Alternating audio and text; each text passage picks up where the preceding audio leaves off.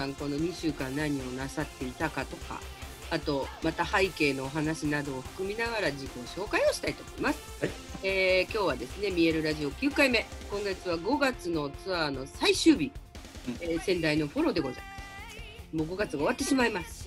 ね。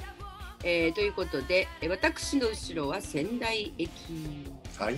でございます。はいはい。あと私の今日のかぶり物は皆さんこれ見ていることが見たことがある帽子なんですけどきっとお忘れだと思います、えー物持ちのいい私新品同様ですけどこれはメイビークレイジーの、うんえープロモーションビデオの中でかぶってる帽子ですあはいなこれね斜めかなんかにしてたのかな。なんかこんなことになってやってましたね。なんかあの加トちゃん地獄って言われるすっげえあの ライブプロモーション時代の、はい。あれですよね。なんかすごいエフェクトした画面でなんかそうそうそう。なんかで縦にこう伸びたり。こんななんか花飾られてこんなことそうだよね。うん。皆さんあの思い出したら見てみてください。はい、はい。パーポンズのジルです。では藤田さんはなんかやけにあれですね祭り男になってますね。えあのこの1週間ぐらいでもうすっかり気候もね夏になってきて、うん。仙台夏といえばもう七夕じゃないですか。ああはい。いいっすね。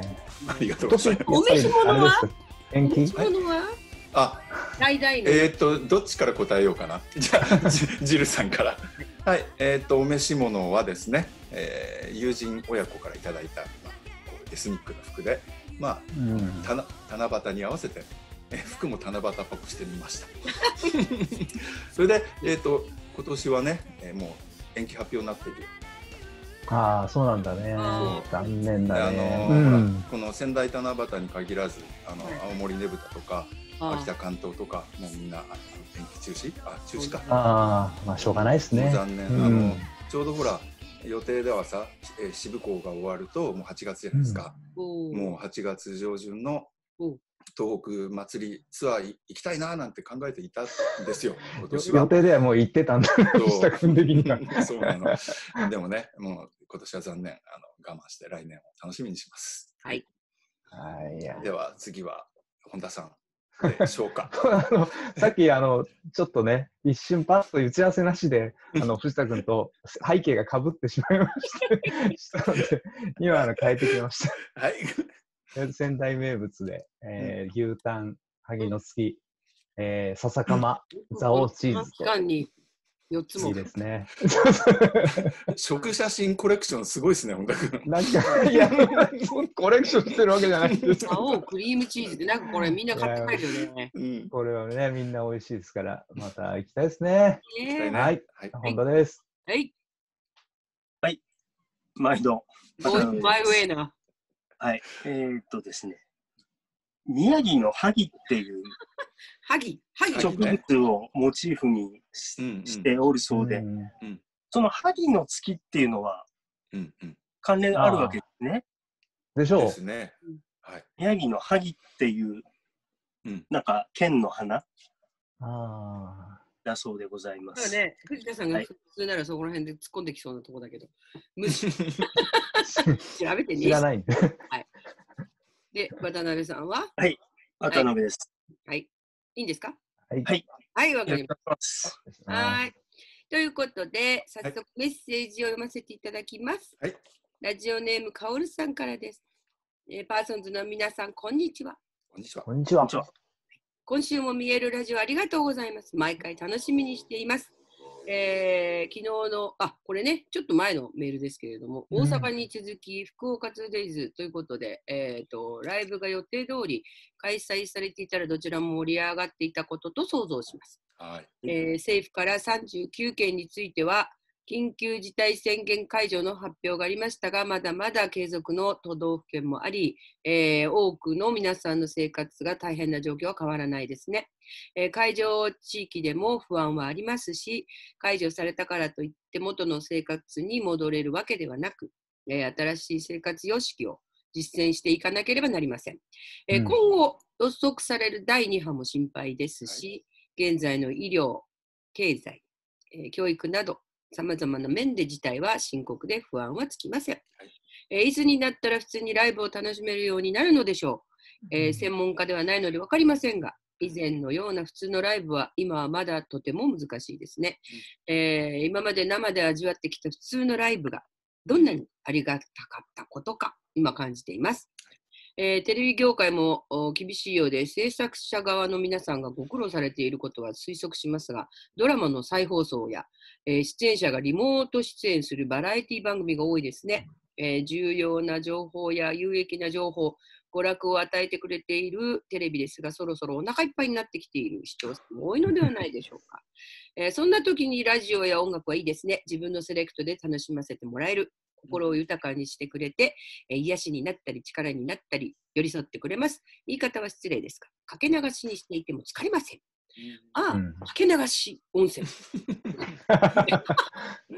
ちょっと違います。ね源泉かけ流しみたいな。いいね、それね。いいえーもちろん、見えるラジオをじっくり見ていますよ。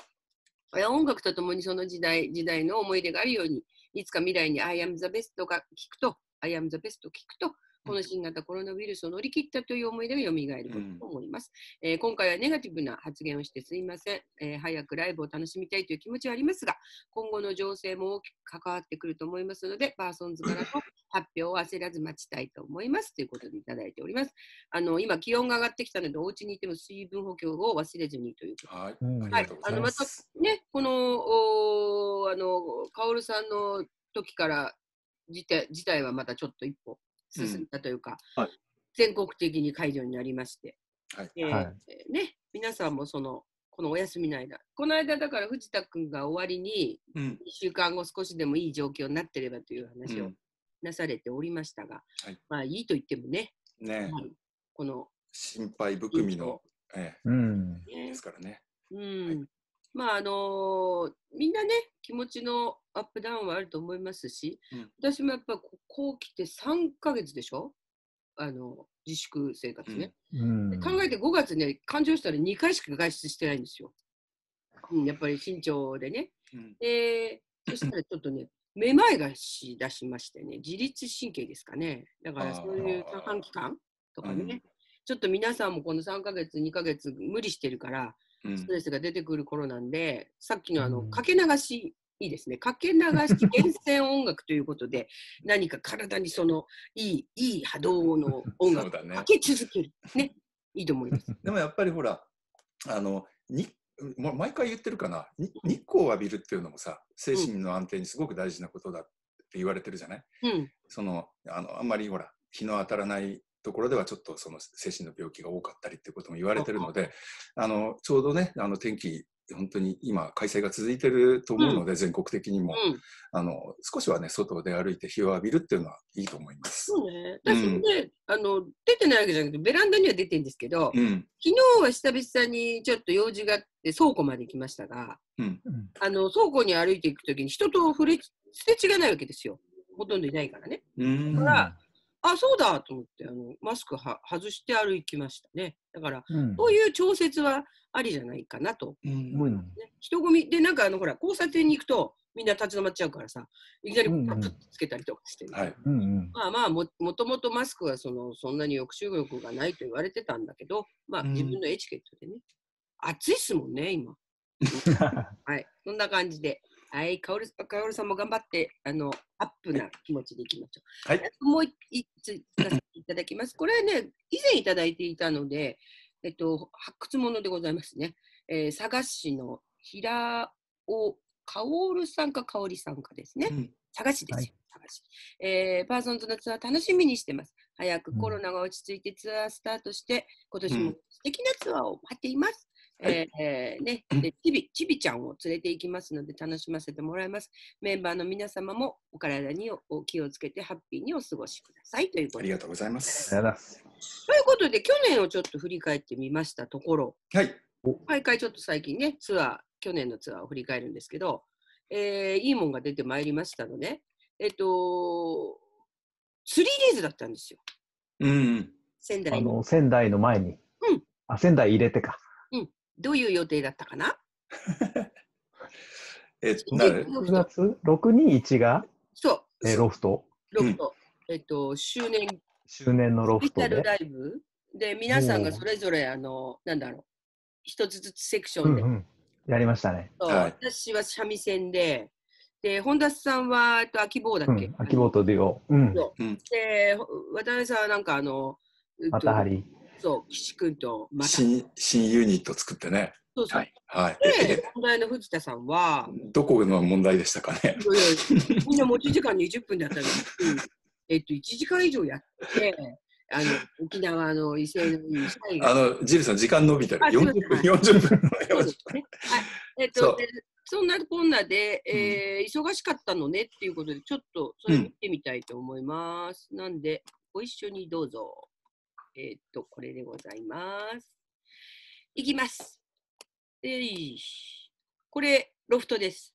うん。ロフトです。この模様ね。はい、これ、あ三ーチームでなす。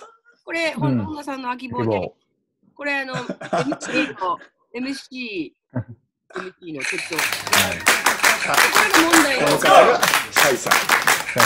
大先輩ですからね。ここですごい、アナウンサーとして、ナイスバイバイバイバで、私、ロフトだとこれが思い。出されるんですけど、これ左がうちのチビだった時で、今、右が大人になった娘でござい。ます。かね、あと、これは皆さんでおケーキを。ああ、周年の。で写真も写真もかわいい。売り物のビデオとか入ってない。入ってない。おお。夏の花火をすごいなんかもうこれ以上使えるで、その翌日が私たちも、はい。あの郡山、郡山にね、もこの A ちゃんにそっくりなはい。あこれがもうヒップショットの素敵なお二人ですね。あ。あライブを終えてから仙台に行って、なぜすぐ終わって、終わって走ったんですね。おお。私、去年のこうの中でトップに入るな、3に入るね。食？この肉、U ターン。ここはもう一回行きたいですね。ねね、6月22日の22時の、あ、じゃあこれは私がドラム乗っとったってことうんうん。ね。そんなこんなの走り抜けたさ3日間だったんです。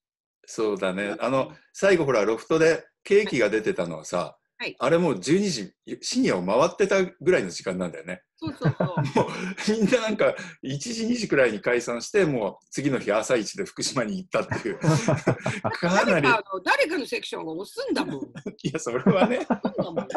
それはシャイさんには何も言えませんからもう11時だったんだ。あんままだ時間。なんで時間。はいこのねそのそのロフトの、えー模様がこちらでございますねなかなかこの、あの、すごいね、それ。七夕と一緒になっちゃってて、どこに？チラチラチラチラチラチラしちゃっていいと思います。これはい皆さんね。これ面白いです、うんすごい面白いですはい、えーパーソンズのオフィシャルで売っております。うんはい。はいということであれこれああ T シャ本当だツ七夕弁さんにうんメッセージを読んでいただきましょう。はい。ではちょっと待ってください。はい。はい。ではですね次は今度静岡の岡本さんです。はい。はい、えーパーソンズの皆さんこんにちは。こんにちは。コロナ騒動も忘れるくらい 2days 見えるラジオ楽しかったですと、大阪の方かね。えー手を叩こう。あれですね。ジルのビハピーの手を叩こうや、えージルさんの ジルさんの浅草魂 感じられたパーカッション、えー 若い頃と何も変わらない、えー音楽への情熱がフォーエバーヤングの秘訣なんだと分かりましたと。あうまいこと言いますね、えーカラオケも？うん。カラオケも？あカラオケですね。どうやったらカラオケに入るっていうことかうんうん。うん、カラオケも紅白歌手になってくれたら全部揃うのになとは よく思うそうです。はい。もやばい、そんだったら自分たちの演奏してなくみんなに歌わせてあげる。はい。えーじゃあ紅白目指せですかね。はい。い。で、続けてところで皆さんがファンに勧めたいものなどあれば教えてほしいです。うん。えー例えばお店、食べ物、楽器、家電、服、アクセサリー、CD、書籍、旅行、場所、えーとにかくこれはと思うものを一つ発表してもということですが。アマゾンぐらい広い幅。幅広いな。岡岡本さんは、えー漫画「キングダム」を推薦しますと。推奨します。ああうん。ちょうどあれですよね。映画今、ーうん。はい。うん。今後緊急事態、えー解除後の第2波が来ないことを願いつつ、うん。ライブで皆さんと手を叩ける日を待ち望んで、えー最低限のマナーを守っていきたいですと、はいはいメンバースタッフの皆さんもろもろお体にお気,、をつけて頑張ってくださいということでしたあり。がとうございます。ありがとうございますはい。ね、手叩きたい、肩も叩きたいよね。ねはいこう接触したいですね。ね。はい、接触したいですよね。変じゃない？変態行動 はい、続けてあれ、いいの？これ、えロジスティックスな、この質問の答えな皆さんのおすすめ？なんか、とっても幅の広いチョイスを。どうしたらいいでしょう？2週間ぐらいの間に皆さんはじゃあなんか変化あったっすか？なんかやってましたか？だってし私ね、週末ほらこういう、一応いつもこのラジオ撮った後に、まあ、編集したりするんで、あっという間の一日なんで、うん。週末がね、ゆっくりできたんで、うん。何してたんだろうと思うと、2週間ずっとね、歌を歌ってましたね。ううん。ん、あのいちょっと自分でこう課題を作って、えー、ギターでこう歌ってみようパーソンズっていう自分の課題で。一日一回必ず歌っていたら、うん。この指が痛い。あの硬くなりました。ギターで？ギターで？ギターで歌歌うのにだって伴奏必要じゃん。そうか。これずっとやってたらあっという間に2週間経っちゃって。他の方はじゃあ藤田さんは、うん庭の手入れとかですかまた？なんで分かったんですか？なんか絶対 まあ庭の手入れなんかしつつ日を浴びつつうん大体あれですねあの家の中では、えー上半身はこう脱いでか生活して日を浴びてます。はい次ぜひなしで。じゃはいあそう あ次わ渡辺さんはまたあれかな？CD? でもねよくわかんないけど渡辺さんは結構部屋にあのこもってせ創作活動してらっしゃるね。あそうですね家にいながら全くそれに合わないから。あのですね、うん意外とミュージシャンって、部屋にこもるのは平気なんですよ。そうか。皆さんそうですか、曲を作るときとかね、うん、多分皆さん、あの、そんなに外出もしないでしょうし、うん。な。比較的ミュージシャンはいやれるうん。タイそうだね。椅子に縛り付けられててもそんなに苦痛ではないよね。プ。ない。そうだね。そう。なんかし 何かしてればね。いいそう。あうん。で何を？えーっと、そうですね。いろいろこう、譜面を読む練習とか。なんか、是が非でもですね、このコロナ期間のこの自粛の期間をですね、うん何かこう、プラスにどうしても変えたいという、うん譜面を読めるよで棚のここまでは読めなかったです。う にないです。まるで。あの棚の CD は進んでるんですか？だから棚行っちゃうとね、飛んじゃうんですよ、いろいろと。もうなんかさ棚いっちゃうとそれだけで人生がもう尽きてしまいそうだ。棚結構重いっす。今だから。棚棚から逃げ始めてるわけですね今。棚から逃げて じゃあ本田さんはどうですか？僕あのうちの話というか個人的にはですね、はい。あの実はあの両親が近くにいいるんですよ。ほうほうほうほう。あのまあ、同居っていうかねうん。近いところに住んでるんでで両親とねよく会ってます今。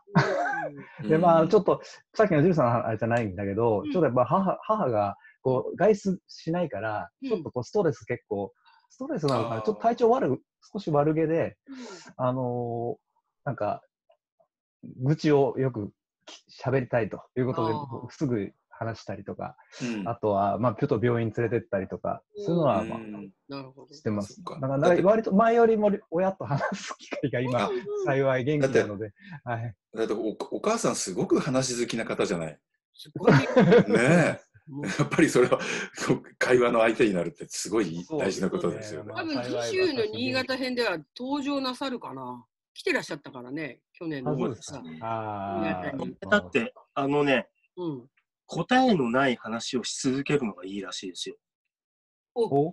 うん。おちょっと落ち込んだ時？いやいや、このうん今のこのコロナの、おうん。ーうん、この、これは、あの、いい加減な話ではなく、割と精神うん、あの精神科的な、はい、な先生がうん。先日おっしゃっておりまして、うん。ん。なんか結論のない話をうん、うんすることが大切らしいです。いや、たわいもない話ですね。うん。うん。昨日あれ食ったとか、そうあれうまいとか。やっぱり友達もそうだけど、家でうん、こんなに家に、まあ、まあ、全部一緒にいるわけじゃないけど、まああの、たまにテレワークで出かける、あ、テレワークをして出かけるらしいけど、息子さんといつも、ほら、すれ違ってあんま喋んないのに、同じ屋根の下で、結うん。構、うん。そんな話ができてっていううん。友達も、うん。うん、だからいいこともあるよ、ありましたね。そうですいいらしいですうん。なんでお母さんの話を聞いてあげてください。なるほど。はい。じゃない？こう、ズームかなんかで藤田と話喋らせるとかすごい。いやちょちょっと歯が立たないと思う。ずーっと喋ってると、そういうの得意としてそうだから。うん。頼みたい私もたまにじゃあ、藤田あまあ聞き役としてはあの上手だと思います。はい。はい。ということで、2つ目いきますか、藤田。あ、にすあはいはい、ちょっと待ってください。はいはい、では、えー、2通目が、えーラジオネーム、じゅんこさんですね。うんはい、はいえーパーソンズの皆様、こんにちは。えこんにちはー解解除されましたねと。解除されましたね。はい。でも、相変わらずの、なるべくお家でを続けていますと。うん家にいる時間が長いので、やっぱり片付けてしまうんですけど、笑いと、うんえー断捨離できるものもたくさんあったのですが、できないものもたくさんありましたと。うん。えー 20, 20年は稼働させていないディスクマンが出てきて びっくりしました。えーディスクマン懐かしい。えー充電器は見当たらず、電池を入れてみたら、またまたびっくり、動きました。という。こと。ですね。す、べ、ての CD を iPod, iPod や、えー携帯に落としているわけではないので、動いて聴けるなら使いたいとところですが、えー軽量化が進んでいる今の時代にはかなり重たくて大す大きすぎます。えー でもせっかく見つけたので使ってみようかなと思ったりします。ということですが、で、えー、純子さんからの質問で、皆さん持ってましたか、ディスクマン？え ーまさかの現在進行形で使ったりしてますか？とですね。まあ大丈夫だから CD がガチャって入るやつだよね。いや、でもこれは持ってたよね、当時は。うん持ってた。ツアーの時は絶対聞いてたから。純子さん、うん純子さん、ゆうこさん。ディスクマンにうん電池を入れるときに、電池の方向を気をつけてくださいね。ね方向が違うと動かないんですよ。ディスクマン。あえ、それって、誰それで捨てようとそれディスクマンじゃなくてもみんなそうじゃないいや、だからそれでさ、捨てようとしたそうです。ね。の 渡辺さん、渡辺さん、はい。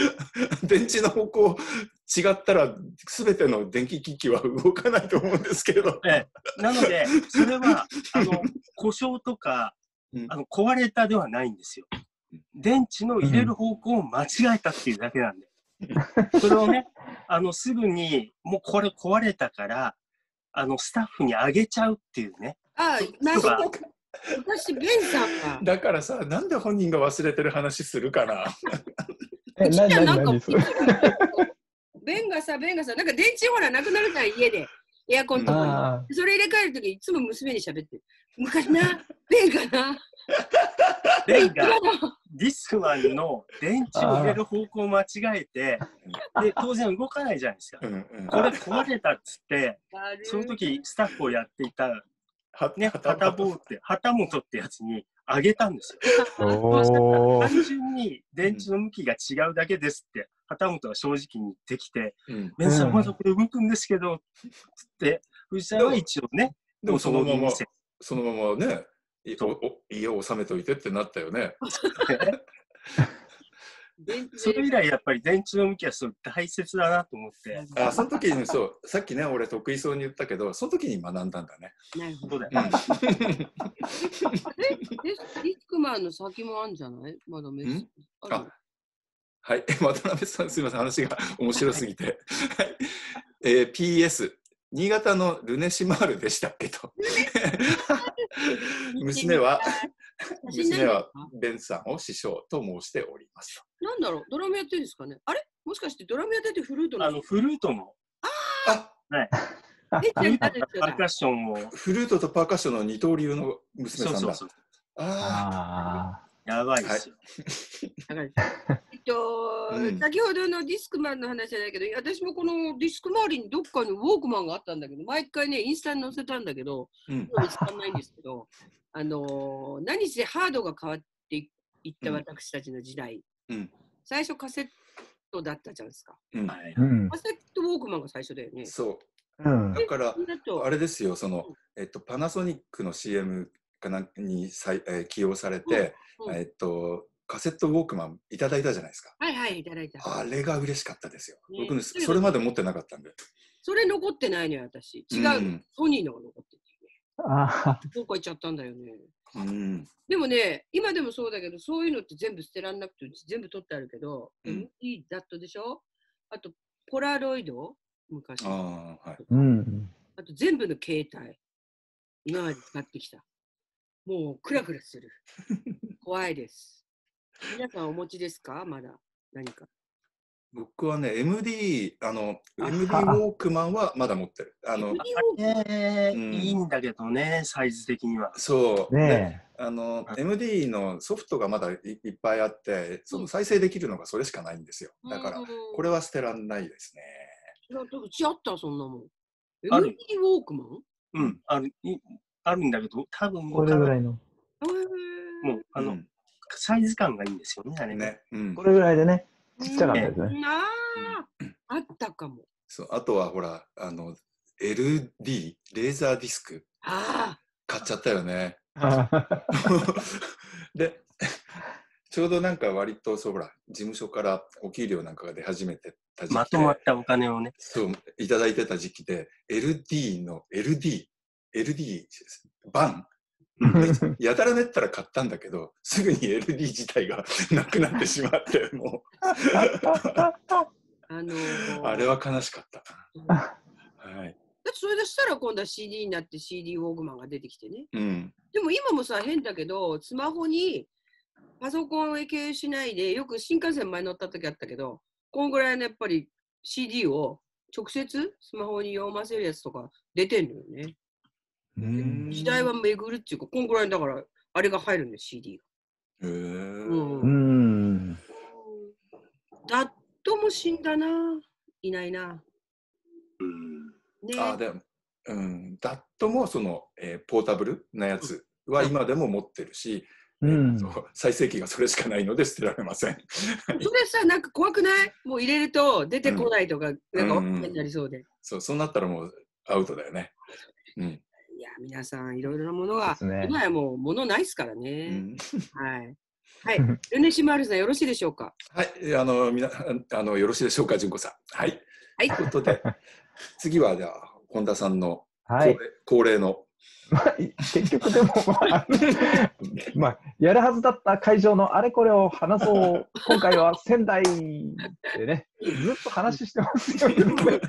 まあまあまあ、えっと、仙台銀行ホール、泉ティ21小ホールでやる予定だったんですよ。はい。ここはやってますよね、泉ティさんは。過去にやってる。思うんですけ確ど、ただ、この仙台銀行ホールとは言ってなかったよね、当時。やっぱり冠そうですね、きっとなんかスポンサー変わったのか。ね あるね。はい。確か、イズミティはやって、ややったような気がしますね。ありがとうございます。はいそこで、えっ、と、メッセージを読みます。あ、じゃあ、えっと、富山県ラジオネーム、プーコさんよりいただきました。ココさん。パーソンズの皆様、こんにちは。こんにちは。この間の見えるラジオの中で、ホールツアーのセットリストの予想が、の話が出ていましたね。うんなので、ふと思いつき、今までのアルバムを聞き返してみました。すごいですね。全部聞き返したんですかね。えーどれもこれも思い出がある曲ば、ある歌ばかり、好きな曲ばっかりで、私なんかが予想するなんてできないって ことに行きつ行きつ、ん？えー行き着きました。うんと言いつつ、なんとなく好きな曲を思いつくまま羅列していって、うん途中で挫折したんですが、えーとりあえず送ってみてよろしいでしょうか。やるんですね、結局ね。でえーこの中で何曲かヒットすれば嬉しいなと勝手に妄想が膨らんでおりますということで、えー、プーコさんの考えたセットリスト。これってさ、曲順になってんだよね。曲順ですかね？だとしたらどうですかね？違うでしょ。オープニングがオープニングがちょっと厳しすぎる。クロスマイハートじゃんじゃんじゃん。なんだクロスマイハートってやつね。はい。はい。まあ、バーッと言います。あ、これ ABC あ、違いますね。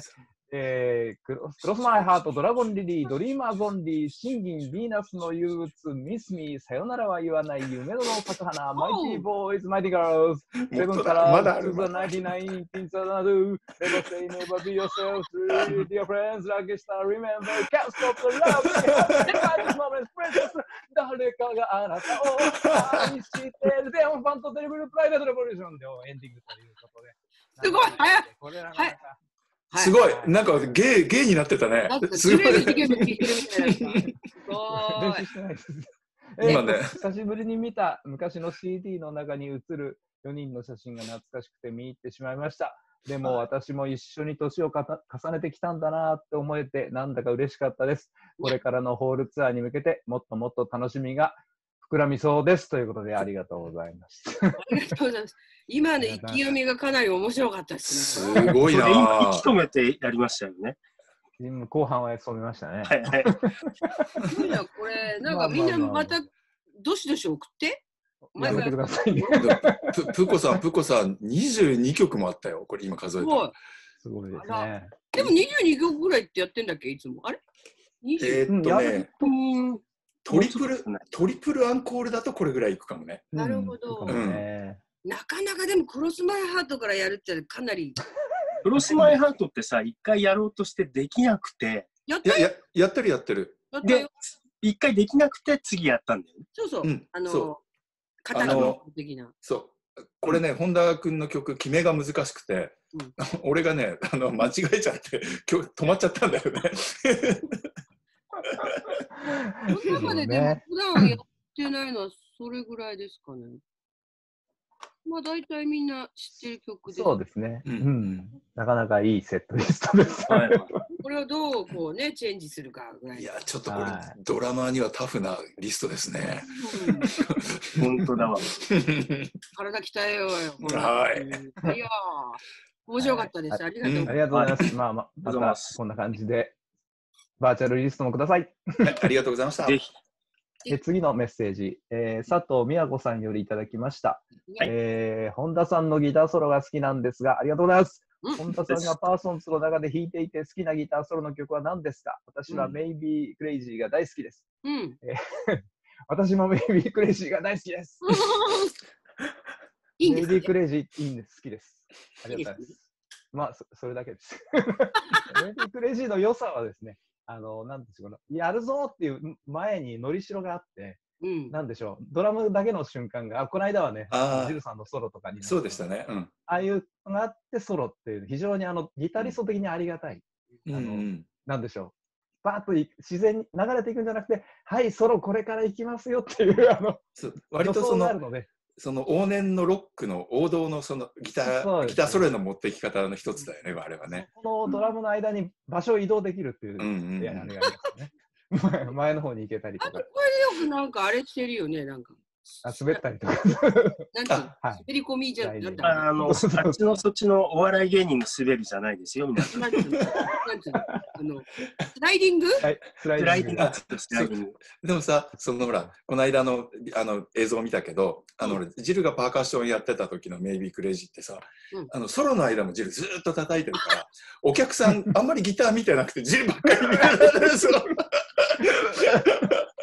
確かにちょっとね申し訳なかったね。考えてなかったね。真っ白いだけど、うちは面白くて、やっぱりね、ほら、最初に私は70年代、80年代の古い、まあ、ハードロックとか聞いちゃうとうん、すごい長いじゃないですか、昔の。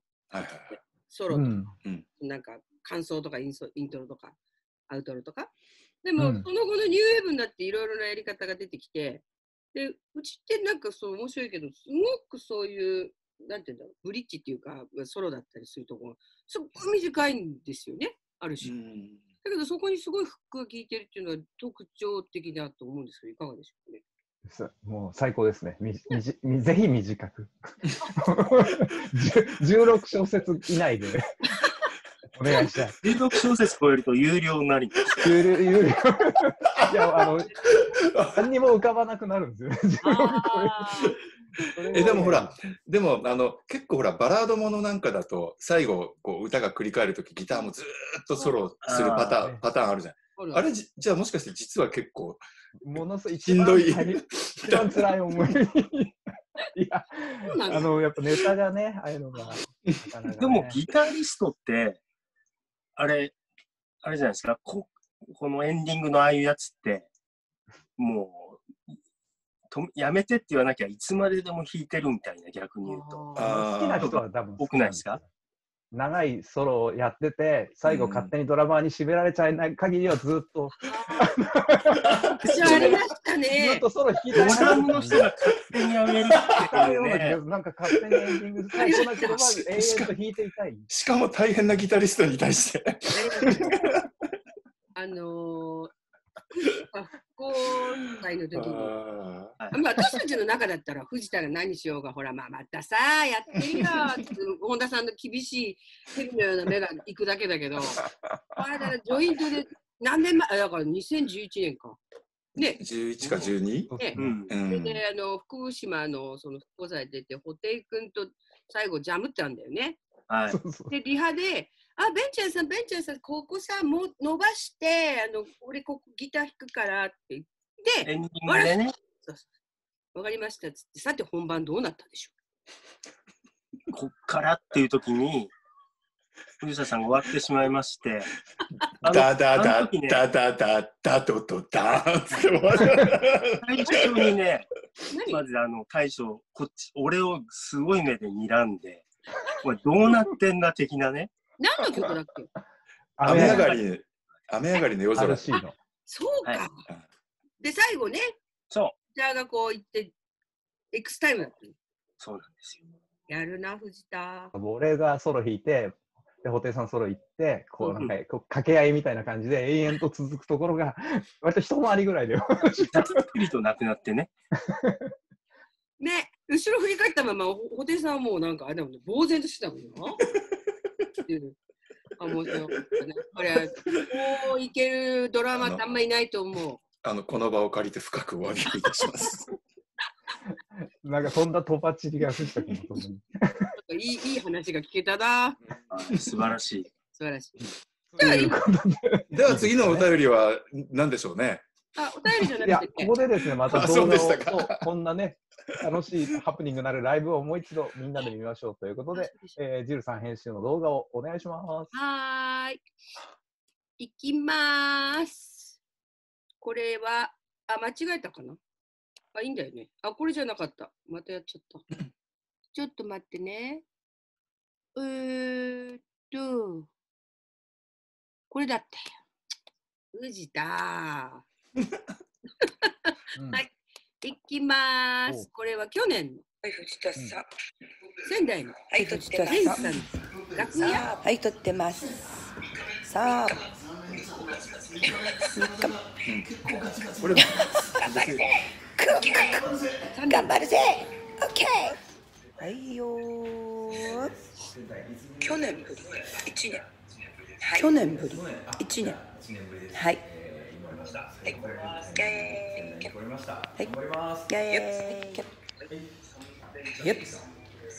三連チャンの三本目ね、みんな体の方がね、えー疲れマックスなんで、疲れマックスになってるんですけども、多分今日が一番いい演奏できるんじゃなはいい。かと思います。は始まると変わる。ここすごいいい小屋。は始まると変わるんですかね。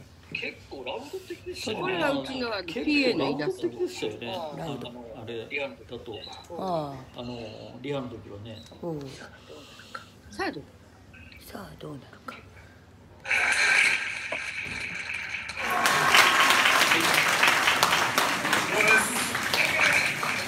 どうもです？1年ぶりでございます。えー、関東に一昨日から35周年に突入したい皆さんは一体何年間ずっと応援してきてくれているんでしょうか？あのねさっき出る前にあれ？と思って35年前っていくつだったのかな？なんか普通の引き算をしてたら普通の2桁2桁2桁したら21とかなんですよ。でもあれ？でもなんか自分の記憶では23ぐらいから始めてて、で、デビューした時は、メジャーデビュー30ぐらかったよ、そんななんか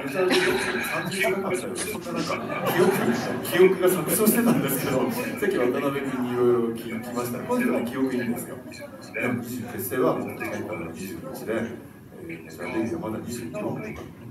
いや、さすが若いそうだったんだ。いやまだ子供じゃないですかと思ってたんですけど。変な MC。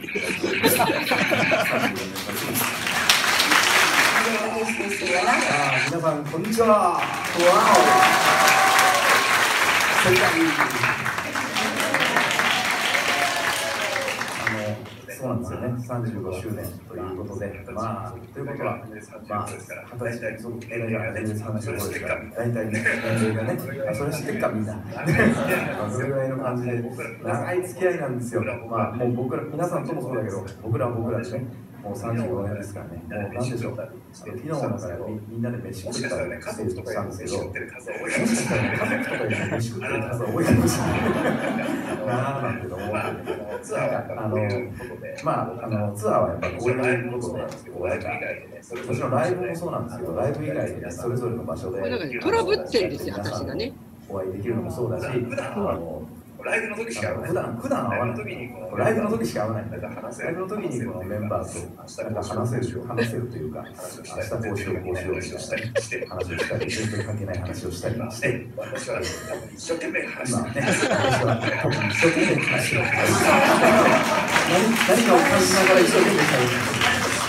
まあいいかな、そんな感じでね。えっと、今日も本当素敵なライブになる予感がします。えー、もうすでにいいもんね。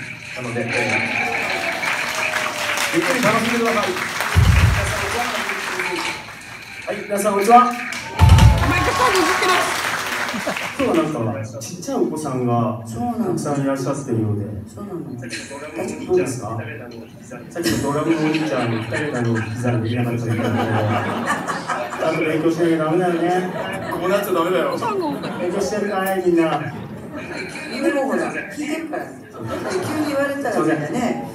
驚いちゃうよね。あの仙台もね、本当にデビュー前かな、昔あのロックノールオリンピックというものが、えー、とありまして、あの見に来てくださった方がいらっしゃるかもしれないですけども、186年からか7年に1回出てるんですあれデビュー前ですよね。デビュー前だね。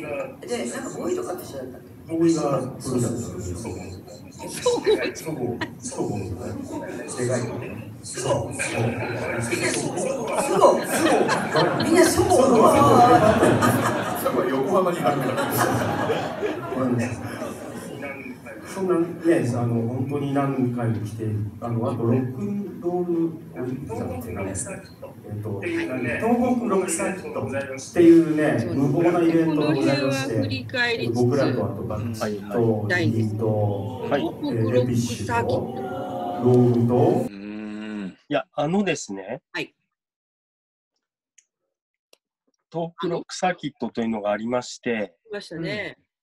あの、人生においてですね、過ごした街、ね、うん、俺と藤田は新潟だから、新潟は当然、ね、たくさんいるんですけど、うん、それの各自ベスト10を作ったときに、うん、仙台って必ず入ってくるよね。そうだね。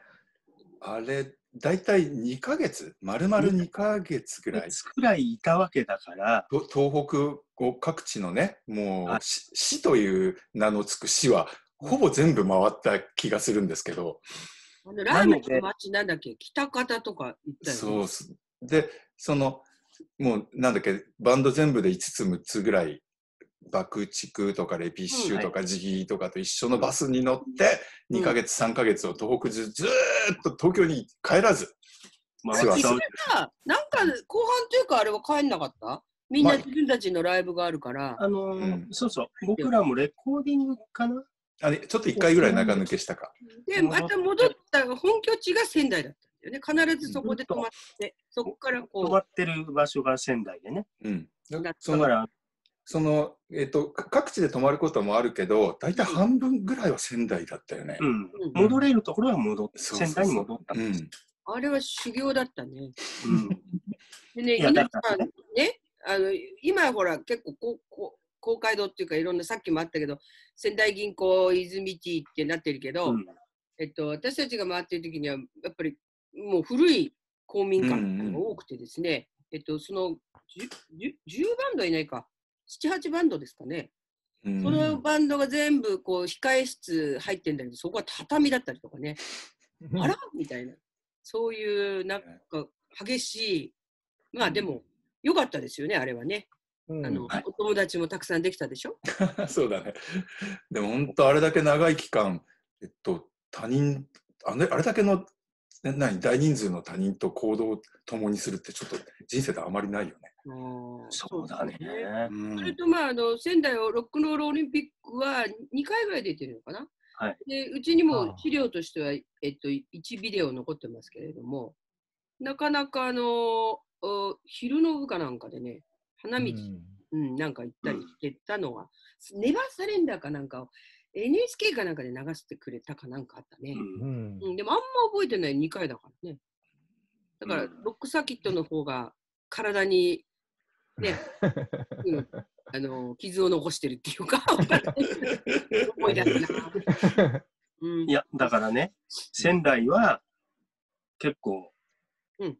なんだかんだっつって、うん。縁の深い町なんですよ。ねす。ね、藤田さん。うんはい。はい なんですかね。そうですね。ということで、はいメッセージをいただいております。田辺さんが。えーはい山形県酒田市ラジオネームごっちゃんさんからです。おっちゃん、酒田やで。酒田です。それは関西じゃない。酒田です。酒田です。はい。はい。はいパーソンズの皆さん、こんにちは。こんにちは。は。見えるラジオを楽しく拝聴しております。はい。毎回見えるラジオを楽しみにするほどパーソンズにど,、ま、どハマりしている私ですが、うんパーソンズ歴はまだ7、8年ほどでして、おううん妻に誘われて酒田でのパーソンズライブに行ったのがきっかけですと。うんおということは7、8年前ですかね。ー一応ね、今見たら2012年とか11年に行ってますので、うんうんはい。うんちの2回行きますよね。うん。うんただね、この2月3日、2012年2月3日、酒田っていうのが怪しいですね。あの雪、ど雪の時ですね。すごかった時あったね。おーうん。はい。えーもちろん私が高校生の時にはパーソンズというバンドは知っていました。うんただその当時は他のバンドのファンであり、実際うんパーソンズが酒田に来ると聞いても、まだやっていたやっていたんだっていうのは感想でした。うんしかしオープニングのセブンカラーから一気にテンションが最高潮に達し、うん最後のディアフレンズが終わる頃には高揚感で満たされておりました。うんはいえー仕事で悩んでいた当時の私が、えーうんつきものが取れたようにすっきりとしており、音楽の素晴らしさを改めて実感したひとときでした。はい以前の見えるラジオで渡辺社長が時々ファンの目力にを感じることがあるとおっしゃっていましたが、延期となった仙台公演では、え3列目から社長はもちろん本田さん、ベンさん、ジル様へも、え眼力も含めて応援したいと思っています。えーまた、酒田でもライブをしに来ていただければ嬉しいです。うん。えーはい、行きたいですね。はい。質問ですが、I am the best のように年齢を重ねてもキャッチーな楽曲を提供してくれる皆様にはただただ感心してしまいます。はいえーそれぞれ曲作りで影響を受けたアーティストなどを教えていただければと思いましたということです。うんはい。えーちなみにね、娘さんがいらっしゃるようで、ええーえー韓国のアイドルのセブンティーンというグループにね、えー、高3の娘さんが、えー、のぼせているらしいですが、えー車の中では、えー、ディアフレンズを、えーああの曲かけてといつも言ってくれますと。世代を超えて良い曲は引き継がれていくのだと思いましたということで、ありありがとうございます。ありがとうございます。ということで、約1名いますけれど、セブンティーンが好きな人がね。えっと、うちのね、はい好きだっつってましたけど。はい。えっと、坂田はですね、うん。ミュージックファクトリーというライブハウス。あはいなかなかこのアットホームでですね、店長さんが、そうえっと自ら PA やる、照明やる、うんうんうん。あとなんだっけ、丸いこんにゃく、丸いあ、玉コン。玉玉コン。うん。をいね、見てくれてて。すごいいいとこだった。で、お客さんは熱い。あ熱いすっげえ熱い。ベンちゃんなんかあれじゃない？声かけられてなかった？声かけられる。ベンさんか、つとむって、俺はなんとかだよって、なんか喧嘩売ってて。知らないな、そんなこと。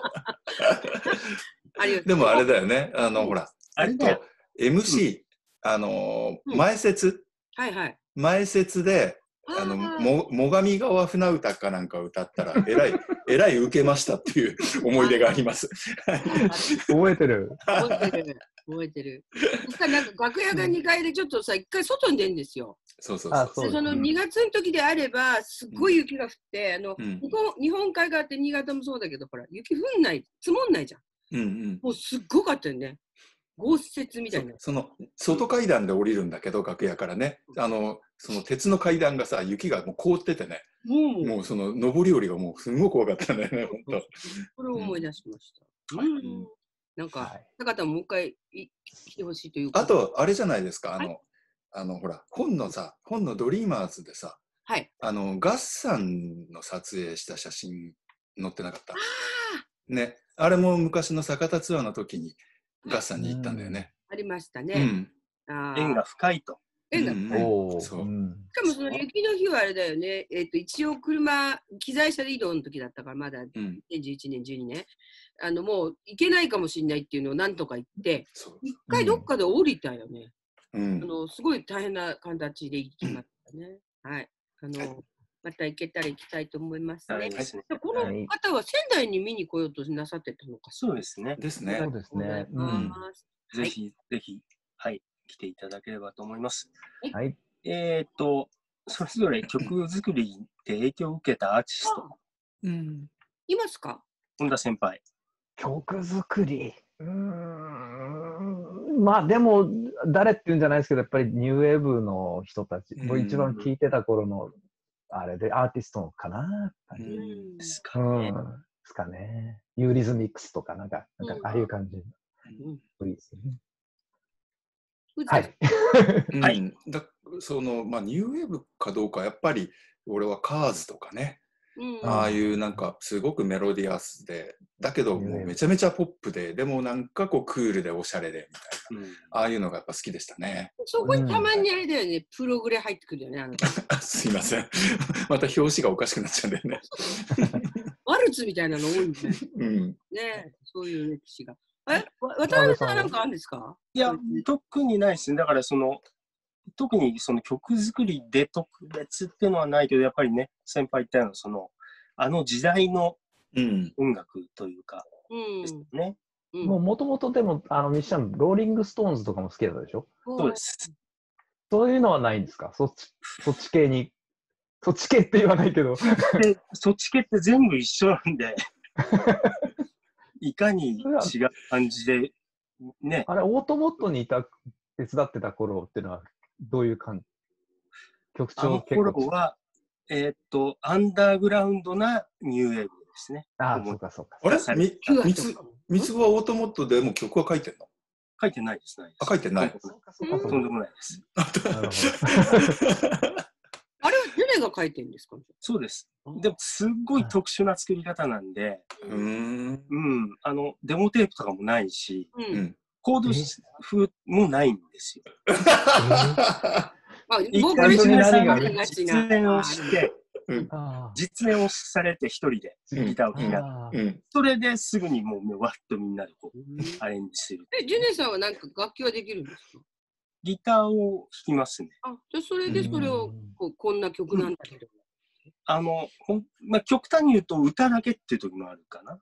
あ、うん。踊って弾かずで、うんで、こんな感じで、こんな感じでっていう指示はされるんですよ。あうんうんうんあの、ボーカリストはよくありがちですよね。ここに浮かんでるものがあるんだけど、なんとかしてっていう。あの、俺歌うから、ね、コードをつけてって言われるわけですよ。うんなるほど、なるほどで。もバンドの初期って言われるとそういうこともなき、まあうちはあんまないけどね。うんうん。うん。うちはみんな。まあ、そういうのも結構、あの、あれですよね。うんあの、鍛えられるは鍛えられますよね。うんうんすぐにこう、なんかしないといけないんで。うん。そうだね。うん。うん。でもなんかあの皆さんよーく聞くとですね、多分プレシャスとかあの辺すごい曲が多かった時代、いろいろなバンドのね、エッセンスが入ってるんですよ。実はうんだから、え、これあれじゃんっていうのを探し求めて聞くと結構面白いと思いますよ。うん。そうですね。各あの全員そういう癖がある時の時代のうん。曲は。なんかちょうどほら、あのそのレコーディングもとすごくか過密でなんかそういうアレンジでさこの中が楽しんでたっていうか遊んでたっていう風もあったよね当時はね、うん、なんかこれっぽいアレンジでちょっとやってみようぜみたいな、うん。うんうんうん。まずまずこっちやる側からこうお面白がってたみたいな、うんうんうん。うん。まあ、あとほらギターとかさの人とかやっぱこうねつまずきながらメロディーとか浮かんだりするのかもしれないけどうちキーボードがいないじゃない？うん。うんだからそういう作り方普通に楽譜を書くみたいなさいわゆるモーツァルトみたいな人の作詞は作曲とかしてないじゃない？ですよね、皆さんね。そうです。あの今の朝の連ドラのエールみたいな書くみたいなのないですけどあのロックの人たちは大体みんな独学ですかそうですね。ら。はいい、や、俺も譜面読めないですよ。譜面っていうのはあの譜面でしょ？タブーじゃないか。先輩のさ、うん。譜面っていうのがなんか、あれだよね、なんか見取り図みたいなのがよく書いてあって。あ、俺の、あの、曲の、あれのことそうそう。うんうん。あのそうだよ。俺、ちゃんとさ、ほら、あの、一応こう C とか F とかって書いて渡してんだけど、うん。一回先輩のところでこう、消化されると、ちゃんとコード変わってんのずっと C って書いてあるんですよ。え？だから C、F F みたいに、本当はそうあ、なのわかったわかった。それは、あの、わかった。あの、ベースは変わってるけど、ギターが変わらなかったら、俺はめんどくさいんです。そのかそうそうそう変わらないところは書かないっていうだけです。なるほど。あの、はい本田さんの譜面は本田さんにしか読めないっていうか、うんいや、あのね、ない記あじゃあ号みたいな話。を逆に返すけど、渡辺君の譜面は、絶対他では通用しない部分が一つだけあって、はい俺は癖がう映っちゃってるんだけど、サビのところを、コーラスのところを、あの、温泉マークになってるの。渡辺君の譜面。はい。いわゆるサビが。で、それ俺も映ってっちゃって、俺もそのサビをああいうふうに書くようになっちゃって、他の現場でそれ見せたら、これ何ですか？この温泉って何ですかって。温泉ってね繰り返すってこと？いやサビサビっていうことサビ。旅っていうのです。だから、まあ、温泉のように、こう気持ちがいいと。あでもさサビを温泉っていうのはその昔のバンドマンの用語じゃないの？俺はそうだと思ってたんですけど、そいや、それ違う？じゃないと思うあ。あれ何渡辺語？いや、あそうなの。う。えじゃあわ渡辺語だったのあれ。あちょっとこれ、この後調べてもらって。ぜひ、はい。あーでもねあのそのやり取りが一つの譜面でやり取りをこの4人してるわけじゃないからうん。たまにそれが面白い風になるのが、まあ、さっきのそのあれもそうだけど私渡辺君とかからもらうときにどれがサビなのかわかんない最初サビから始まるの結構あるじゃないですか。うん。うんでそれは渡辺さんとしては平歌だったりする解釈で作ったりとかするのが、ね私がサビになってるっていうのが結構あったりするんですよね。うん。そのために一応温泉をつけて、私温泉なんか何にも気にしてなかった。作者としてもサビはここですよっていうのを。なるほど、あれは旅だったんだ。さああーて、さ35年経って今、今分かったんでまあ、はい、わかりました。はい。ということで、えーはい。坂田のゴッさんからはい、来ました。ありがとうございます。ありがとうございまはい、えー続きましてですね、えー 宮城県、えータイムリーに、うん。宮城県の、えー田沢さん、はい、田沢のりやさんかな。ありがとうございます。えーっとですね、えーコンサートは見合わせになっていますが、はい、はい。チケット払い戻し等の案内が見当たりませんが、どのようになっていますかと。うん、うん。まあ、仙台は今日ということです。えーっとですね、本当に大変に心苦しいんですけれども、えーっと、現在あの、まあ、ずっと言ってるように、あの、順延のですね、スケジュールの調整をしておりまして、えー結論から申しますと、その順延のスケジュールが全部出揃ったところで、えー発表させていただいて、うんえーその時にあの払い戻し等の対応もさせていただこうと。本田さんがいない。います？ん？いや、アウトしちゃったね。電源が切れた。まあ、いっか。来たら、戻ってきたらにしようか。いないね。あ、これじゃないよ。どっか。どっあじゃかあ、渡辺さんもう一回頭から言った方がいいかな。あ、来ました。はいごめんえっとですね、音入ってた。はいごめんえーコンサートの、えーチケットどうなりますかというお問い合わせなんですけれども、えーちょっとあの時間がかかってしまって大変心苦しいんですが、えー結論から申しますとですね、えー、と今、10円の、えースケジュールの調整をしているんですが、えーそのスケジュールが全部出揃ったところで、えー発表させていただいて、えーその時点で、えー例えばそのチケットを払い戻していただあ払い戻してもらいたいという方には対応していこうと、そのように考えておりまして、えー今あの、もう、もうほんの、もう少しなんですけれども、えーちょっと一箇所引っかかってるのが、えー渋谷公会堂が、えーやれんのかやれないのかというところで、今うん、ちょっとあの、発表ができない状態になっています。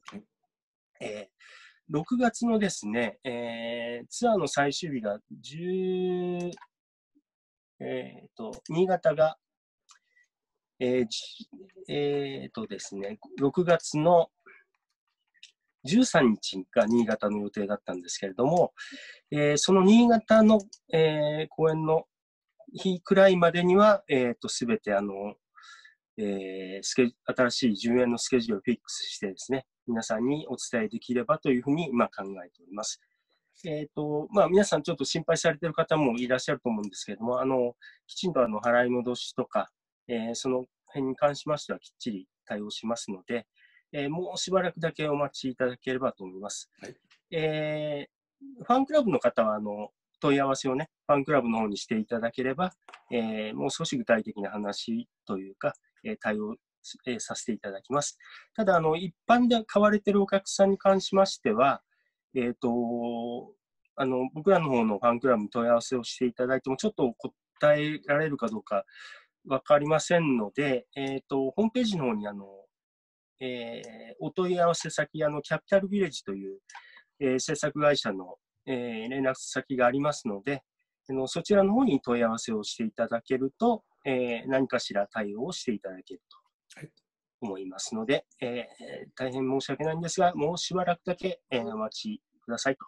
いうことで、よろしくお願いします。すいません。よろしくお願いします。今一応あのき来ているこの見えるラジオとこう一緒になってきてるそのメールがありまして延期についてね、えっとそういうのに関してはまあうちのスタッフもなるだけおお答えをしているようなので、はいあとはオフィシャルの方であのなるだけ、えー問い合わせをしていただければ、はい。もう少しです。頑張りましょう。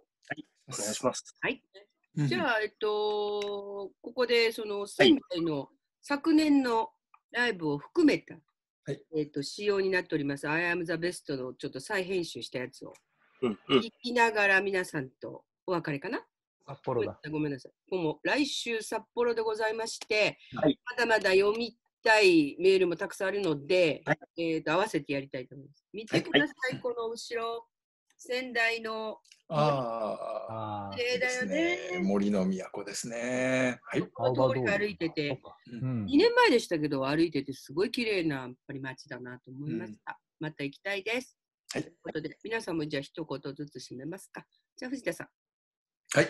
えーっと、本当に最初のお便りのにもありましたけど、ちょっといろいろね、状況が変わって、緊急事態宣言も全国的に解除になってますけれども、あのーやっぱりこれからの注意が本当に必要だと思います。あのー僕たち、そのさっき貢社長も言いましたけど、渋谷公会堂のことも今、まだ少しチューブラリンなえ感じ。これもこれからの状況次第になっていきますので、あの、皆さんとにかく体に気をつけて、行動に気をつけて、そして、えーまた次回も元気でお会いしましょう。同じですね。もう本当に、あの、テレビとかね、あの見てると、まあ、かこう、二転三転して、こう、なんだ、解除されたからいいのか、いや、気を緩めていいのか、いや、そうじゃないとか、こういろんな情報がね、いっぱいあって、うんまあさっきのあのお便りであったみたいに、確かにこう、ラジオいいっすね。ラジオ、うんこう自分の好きなものをセレクトしたりとか、うんなんか聞いて、えー、かけ流しで 楽しんでいた厳だければ。はい、あの心の栄養をとって、皆さん元気でまた来週お会いしましょう。ですね。はい。サビは温泉ですか今 温泉。ら、ぜひぜひいい。つながりですね。はい。いやえー本当にうねまいな。うまいな。気をつけて、皆さん、来週また楽しみにしてます。はい。はいメッセージください。はい。はい。元気でーす。さよなら I am the best! B-B-E-S-T!